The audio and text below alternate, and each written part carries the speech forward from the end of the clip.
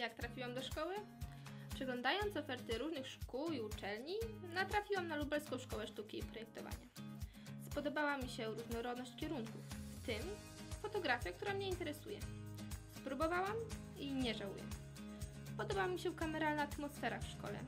Można lepiej poznać innych ludzi, a nauczyciele mają do każdego indywidualne podejście. Swoją przygodę z fotografią rozpoczęłam kilka lat temu. Najbardziej interesuje mnie tworzenie reportaży. Można ukazać sytuacje ze swojego punktu widzenia, spontaniczne reakcje ludzi oraz ich emocje. Z tego względu lubię też portrety, ale nie takie sztuczne, pozowane. Podczas pracy z ludźmi przede wszystkim stawiam na naturalność i nieszablonowe rozwiązania.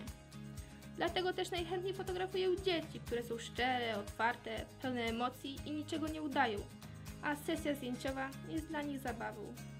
Na swoim koncie mam już pierwszą wystawę, która obejmuje zarówno reportaże i portrety. Moje prace można było obejrzeć w grudniu w Parczewskim Domu Kultury. W tym roku zostałam laureatką stypendium artystycznego prezydenta miasta Lublin i pracuję nad projektem Niezwykli ludzie w zwykłych miejscach.